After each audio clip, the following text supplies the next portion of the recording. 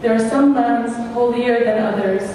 From this land, Imam Ali alayhi salam, long before the martyrdom of his beloved son, had picked up a handful of clay. He smelled the soil and cried so much that the soil got wet with the tears flowing from his eyes. Then he said, Many will be raised from this land. They will enter heaven without their actions of this world being accounted.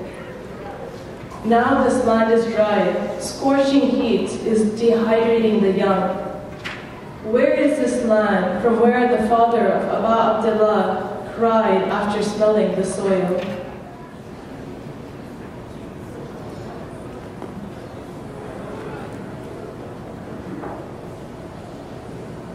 Uh,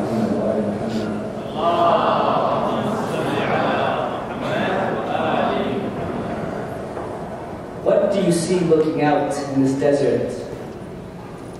Do you see the burning tents, severed heads, or martyred brothers? Do you see the smoking clouds that gather around the women once fighting to wear their chadars? Do you see the sandprint of a sickly body who once agonized in illness while his cousin was trampled to shreds?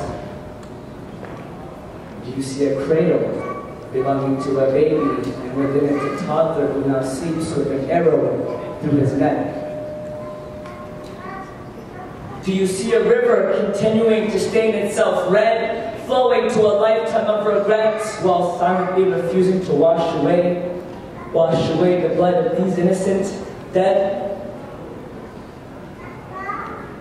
Do you see in the distance a flag with the hand still firmly attached around the pole's neck, or do you hear the echoes of a little girl still searching, searching for her baba's chest?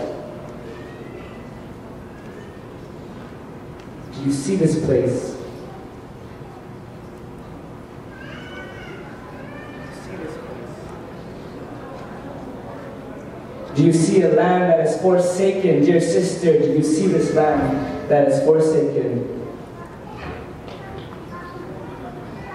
Oh, brother, all I see is beauty, and the moon that once blessed this place. I see the clouds parted from here, only because it continued to follow the head of Yah Hussein. I see mothers looking for their brave sons who fought alongside Ali Akbar ibn Hussein. I see the spirits of young children rising straight to heaven, while in their graves their killers remain. I now see a baby who stands strong and is able to drink from the river. Until the end of days, I see the flag of Abbas still standing tall, even with just an arm in place. I see the footprints of a horse that had more humanity than an army of 30,000 men.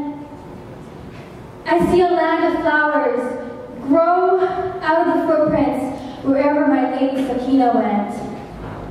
If you ask me, O oh brother, what I see today, I see all the sacrifices my mom made to make sure humanity remembers never again to make the same mistake. O oh brother, you say this land is forsaken, but when I look into this desert plain, I all I see is God's presence, a presence